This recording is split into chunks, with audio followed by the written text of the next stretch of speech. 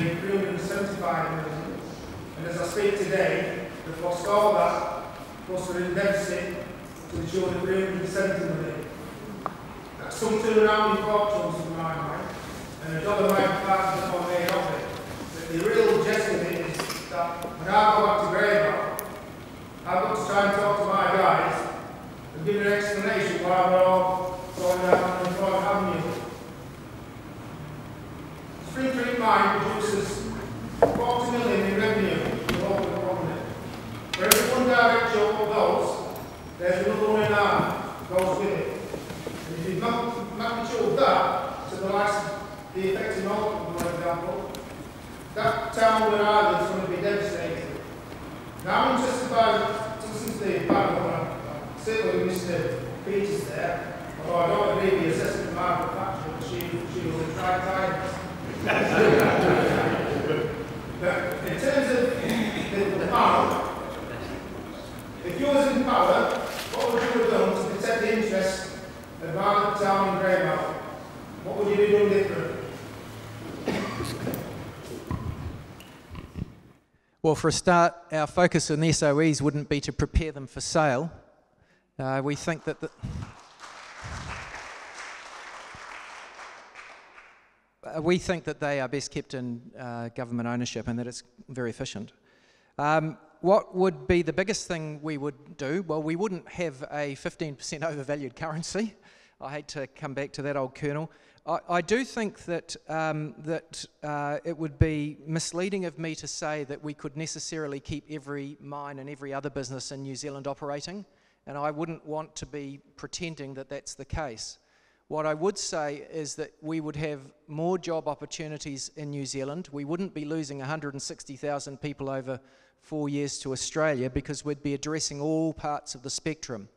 It's absolutely tragic that we've got youth unemployment rates in New Zealand that are as high as they are. You go out to South Auckland, and we've got not just a, a, a moral issue out there, but we're actually going to have an impact on all of us everywhere else in New Zealand because there are going to be so many disaffected people who've think, well, why should I comply with the, the rules of society when society doesn't work for me? So we have to make sure that all of our young people, if they're not in work, are in training or in education. Uh, we have to make sure that our businesses are operating in an environment that they can prosper as much as they can.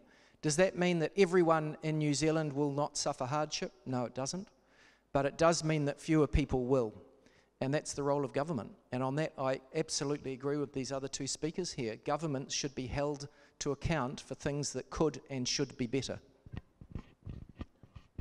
Um, I, think uh, David's hit the head on it. Privatisation and the exchange rate, those two things together um, are one of the key drivers of what's going on here. Uh, and I think that if you, you know, if we don't take action on those two things, then we're going to see a lot more closures.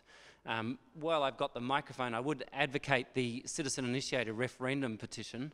Um, it is, um, we, are you know, approaching getting the numbers on that, and given that privatisation is one of the key issues around economic management, um, if we can finish the numbers by the end of this month, say, which and we're not far off that, um, then we can drive through a referendum next year, and that will once again be an opportunity to have the economic debate about the economic future of our country, and it's an opportunity to stop the privatisation process because even though it's not a binding referendum, it becomes part of the political pressure that the government's under, on top of all the other pressures they're under around the privatisation program. So, if you haven't been um, pushing that around your workplaces, I'd really encourage people to do so. I never said that I supported Maggie Thatcher. I was trying to show by illustration that even someone that thought like her came to her senses when she saw, in practice, what her policies meant. All right? Now, Solid Energy has paid in excess of 170 million profits to the government in recent years.